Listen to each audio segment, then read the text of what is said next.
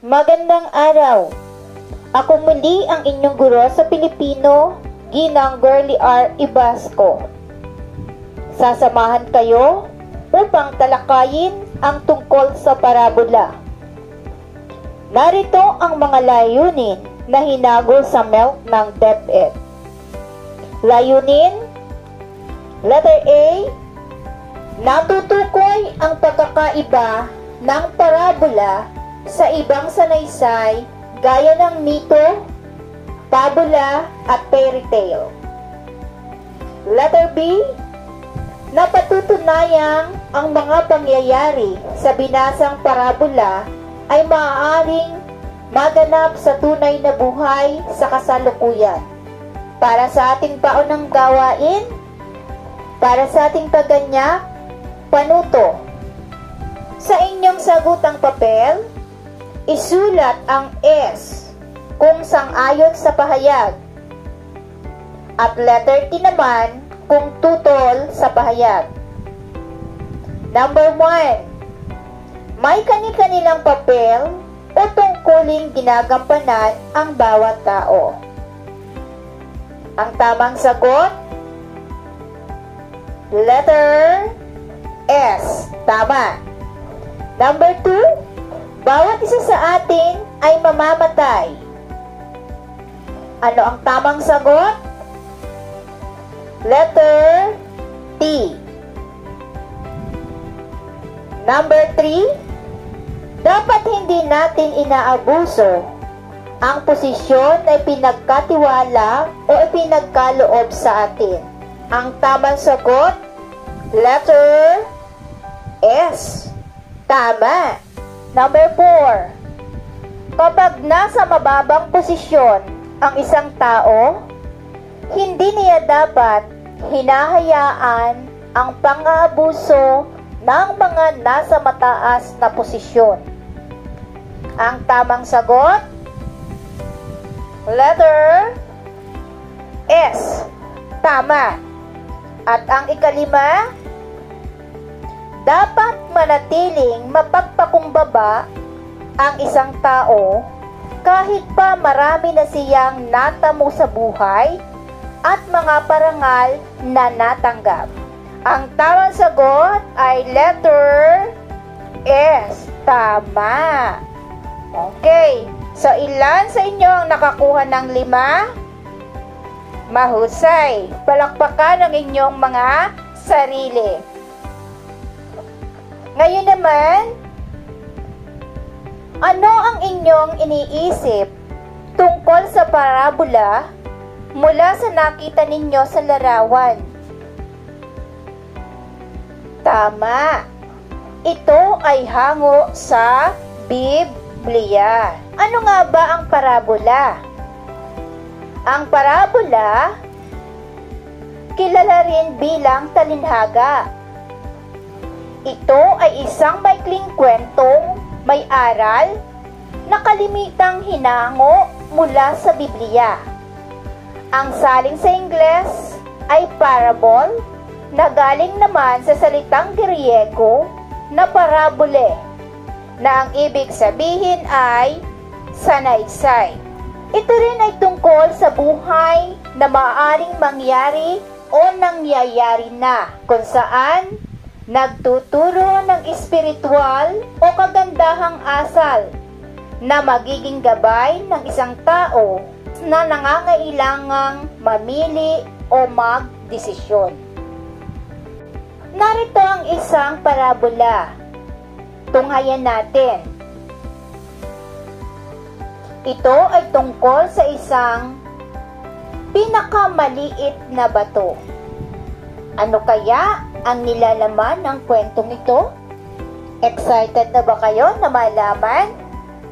Habang inyong pinakikinggan, alamin ninyo ano ba ang mensahe o magandang aral na nais nitong ipaabot sa bawat isa sa inyo. Nawa ito ay maging aral patnubay ninyo sa inyong mga buhay. Ang pinakamaliit na bato. Ang guro at ang kanyang mga estudyante ay naglalakad sa isang bulubunduking lugar. Malayo pa ang kanilang lalakbayin. Ang mga estudyante ay nakaramdam na ng gutom. Wala naman silang nadaraan ng puno na may bunga para makapita sila ng makakain. Dalawang batis na ang kanilang dinaanan. Uminom silang lahat sa dalawang batis. Nabawi naman ang kanilang uhaw. Ang hindi lamang nawala ay ang nararamdaman nilang matinding gutom.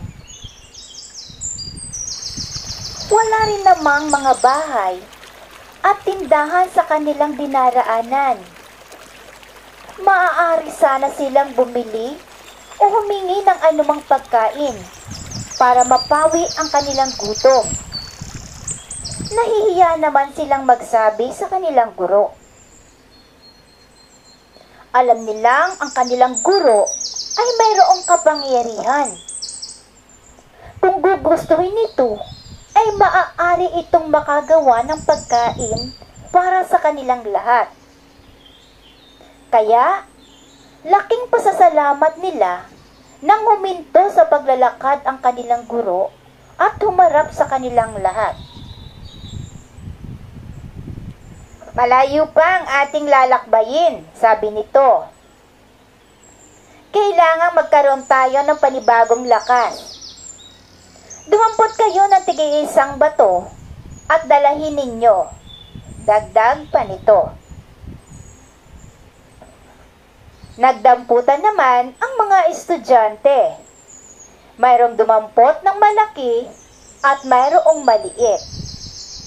Isa sa mga estudyante si Islaw.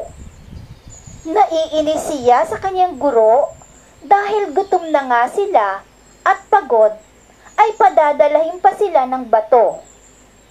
Sa inis niya ay maliit na maliit na bato lang ang kanyang dinalat, lihim pa niyang pinagtawanan ang ibang kasamahan dahil malaki pang bato ang kinuha ng mga ito.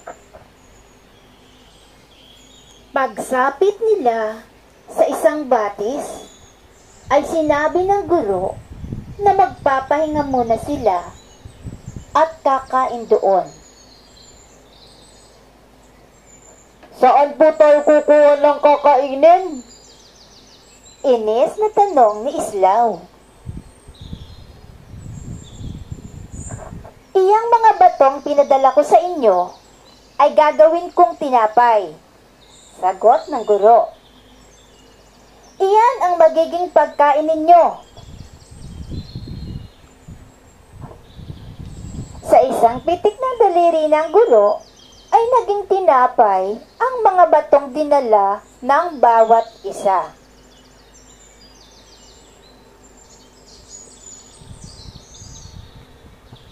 Sising-sisi si Islaw dahil sa pinakamaliit ang dala niyang bato. Gutom na gutom pa naman siya. Ayan! Naibigan ba ninyo ang ating aralin sa araw na ito? Ang tungkol sa parabola? Minsan, sa buhay natin ay may mga bagay na ipinagagawa sa atin ang ating mga magulang o guro na para bang napakabigat at mahirap lang sa buhay natin. Subalit hindi natin alam na pagdating ng tamang panahon ay atin itong pakikinabangan. Kaya nga, ayon sa kasabihan, kung gaano karami ang iyong itinanim, ganon din karami ang iyong aanihin. Huwag ninyong tutularan si Islaw na laging naiinis kapag may pinagagawa sa kanya. Gawin ninyo ang mabuti at nakalulugod. Hindi makasarili at kayo'y pagpapalain. Ang guro sa parabola ay katulad ng ating Diyos kaya niyang gawin ang lahat ng bagay kung kanyang mamarapatin. Ang imposible sa tao ay posible sa Diyos.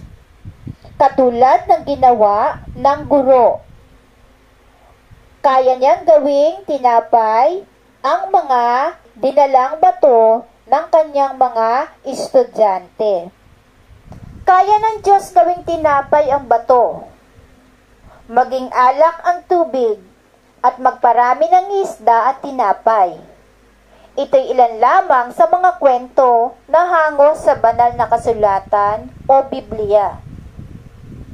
Sa parabolang ating napakinggan, ay mapapansin ang dalawang uri ng tao. Ang isa'y masunurin at ang isa'y masuwayin. Ayan, kung inyong nagustuhan, palakpakan nyo nga ang inyong mga sarili. Muli, bilang pagbabalik aral, ano nga ba ang parabola?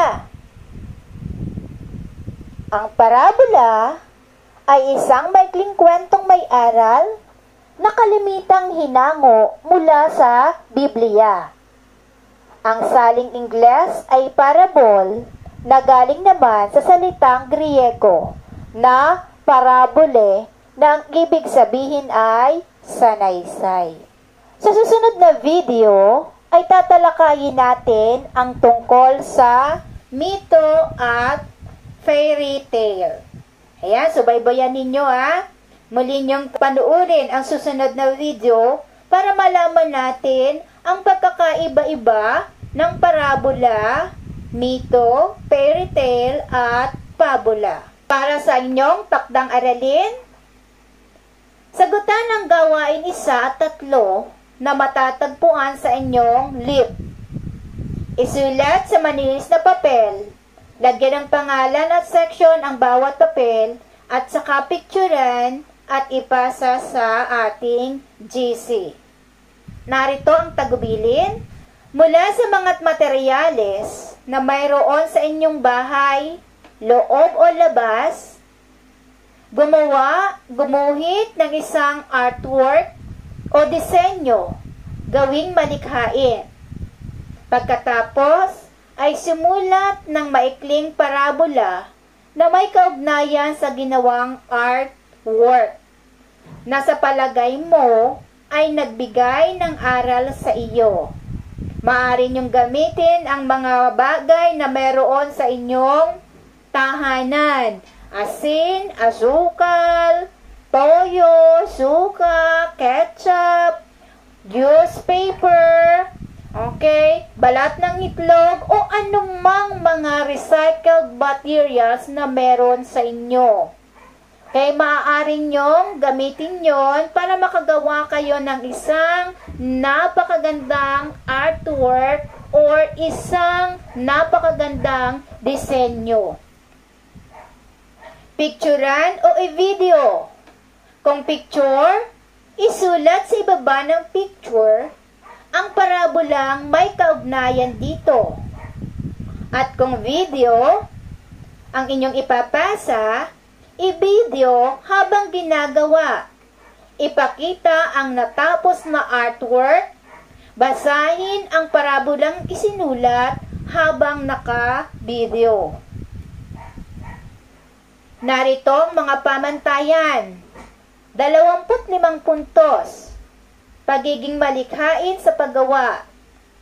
Sampung puntos. Tama ang gramatika. Labinlimang puntos. Malinaw ang pagkakalahad.